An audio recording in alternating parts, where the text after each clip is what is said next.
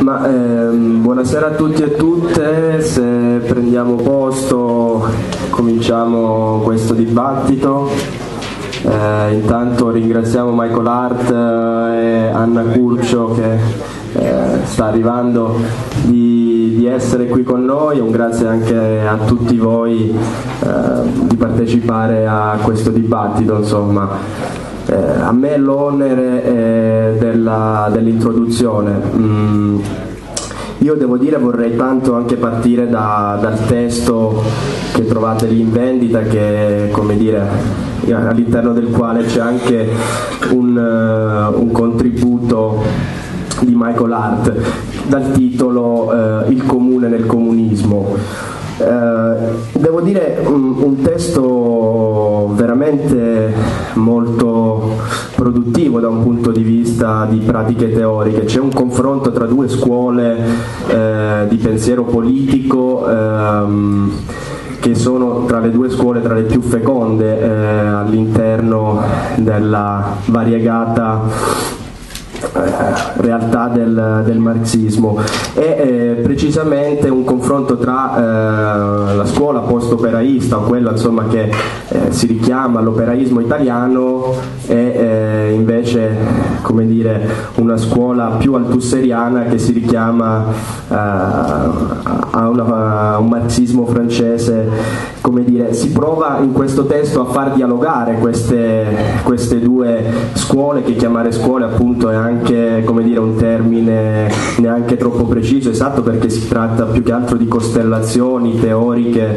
eh, che eh, dire, sono eh, sempre state anche molto attente, soprattutto l'operaismo italiano, a, eh, al dialogo tra pratiche teoriche e pratiche politiche eh, o comunque ai momenti di mobilitazione, lotta, conflitto come dei momenti a cui guardare in maniera molto proficua per la creazione di, di nuovo sapere. Ma io come dire mi limito come dire, a porre anche delle questioni insomma, eh, che eh, questo testo ci apre. Mm, il saggio di Michael eh, parte eh, come dire, con un parallelo eh, con eh, i manoscritti economico-filosofici del 44, precisamente quella parte eh, dei manoscritti in cui Marx parla del passaggio dalla tendenziale egemonia eh, delle, delle, merci immobiliari, quindi grossi latifondi piuttosto che tutta una serie di merci immobiliari a eh, quella che è la tendenziale passaggio all'egemonia delle merci eh, mobili, mobili, che sono appunto le nuove merci, le, le, industrie, il capitalismo nascente, insomma che da metà del Settecento eh, impone i suoi ritmi produttivi a tutto il resto della società. Beh, questo, attraverso questo parallelo eh, Michael Hart secondo me eh, ci fa capire molto bene quella eh, che oggi è eh, una condizione ehm, che dobbiamo affrontare in maniera anche molto, molto seria, cioè la questione del tendenziale passaggio di egemonia dalla proprietà materiale, che è stata eh, dire, la, uh, la, produzione di merci materiali è stata eh, dire, caratterizzante anche del periodo del Fordismo e del Taylorismo, a una tendenziale egemonia della produzione immateriale, quindi non più eh, oggetti ma eh, affetti, idee, conoscenze, eh, relazioni. Eh, come dire, questa lettura viene fatta eh, andando anche dire, a eh, sviluppare quella che è un'ipotesi di capitalismo cognitivo o comunque di biocapitalismo eh, che prova ad andare a leggere quelle che sono le tendenze attuali contemporanee all'interno di, del sistema di oggi. E trova ecco, delle delle, delle contraddizioni molto profonde eh, che oggi si vive come dire, questo sistema economico, cioè da un lato ci sono eh, i, mm, i, flussi immateriali che sempre più tendono ad uscire dalla forma proprietà, cioè eh, il, la, la grossa, il grosso cambiamento tra merce materiale e merce immateriale è appunto che se io ho una giacca non la può usare un altro, è un, un tipo di, di uso esclusivo, al contrario un'idea più la metto in condivisione condivisione attraverso la rete piuttosto che attraverso dei canali e più quell'idea diventa produttiva. Quindi abbiamo eh, come dire, anche una modalità appunto che è quella eh, delle merci eh, immateriali che è quella che tende sempre più a sfuggire alla proprietà o comunque alla privatizzazione eh, del, eh, dei saperi, delle conoscenze, degli affetti. Questo come dire ovviamente produce anche eh, delle contraddizioni molto grosse all'interno del capitalismo contemporaneo in cui eh, come dire, mh, questo capitalismo ha bisogno della cooperazione sociale per succhiare darne valore, allo stesso tempo eh, come dire, per valorizzarlo deve mettere dei freni attraverso il copyright piuttosto che tutta un'altra serie di forme di limitazione della cooperazione sociale. Quindi come dire, una uh, crisi strutturale del, uh, del, sistema economico contemporaneo che eh, secondo me viene anche molto alla luce eh, con la crisi attuale che stiamo vivendo, eh, come dire, in, eh, in, questi, in questi, la crisi globale che stiamo vivendo in questi momenti, insomma, in cui in queste ore eh, dire, rischia di saltare la moneta unica, rischia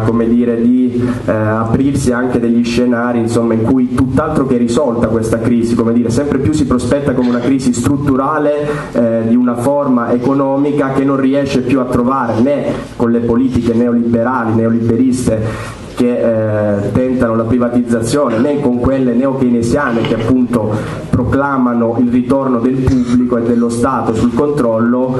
eh, e quindi come dire, bisogna provare a dare noi delle alternative concrete che sono appunto quelle eh, come dire, del provare sempre più a passare dalla mobilitazione eh, de- dei movimenti come li abbiamo visti in questi mesi all'organizzazione di eh, quelle dire, che, potremmo chiamare nuove istituzioni del comune, che sono delle, delle forme di autogoverno in cui il nuovo welfare dire, ha un tratto eh, che parte appunto non più da una gestione né privata né pubblica che oggi sempre più si assomigliano eh, in, nelle gestioni aziendalistiche, ma eh, appunto all'interno di quello che è eh, un tratto comune, di vita in comune, di eh, auto-organizzazione, come dire, di eh, sempre maggiori pezzetti di nuovo welfare che possano eh, in un qualche modo prefigurare eh, di eh, costruire, organizzare questo, questo comune tutti e tutte assieme. Io ecco, volevo dire anche due parole, poi mm, lascio, lascio, il microfono insomma, su eh, una questione dire, per cui eh, oggi insomma, bisogna come dire, anche mettere in evidenza il fatto che eh, parlare di comunismo, di progetto comunista, come dire, ha eh, tutta una serie di problematiche rispetto a un termine che eh, come dire, va vissuto come un campo di battaglia, anche all'interno del quale sempre più provare a togliere eh, le esperienze del socialismo reale che vengono confuse con questo termine e sempre più riprendere come dire, quelle che sono eh, le forme di, di, lotta, quindi di democrazia dal basso che eh, hanno, hanno, accompagnato e costruito tutti i movimenti sociali insomma, eh, che si sono susseguiti nel tempo. Quindi anche qui come dire, eh, la capacità di eh, parlare in maniera eterodossa, di parlare come dire, eh, in maniera eh, sicuramente non ortodossa, come dire, della crescente possibilità di un progetto comunista oggi nel momento in cui il comune diventa sempre più elemento centrale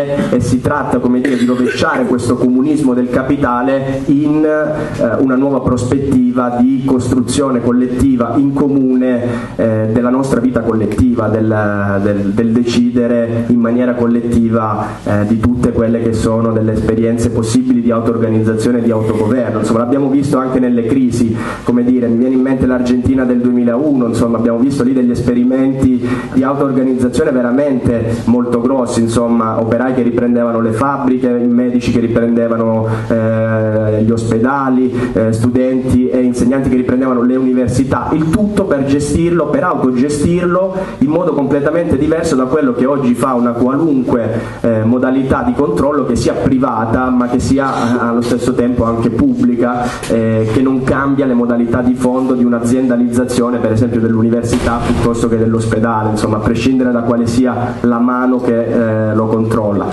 Su questo, come dire, Eh, io lascio la parola ad Anna Curcio che ha curato questo volume e insomma spero che appunto possa anche aprirsi un dibattito che partendo dalle questioni teoriche che pone Michael possa anche toccare strettamente l'attualità.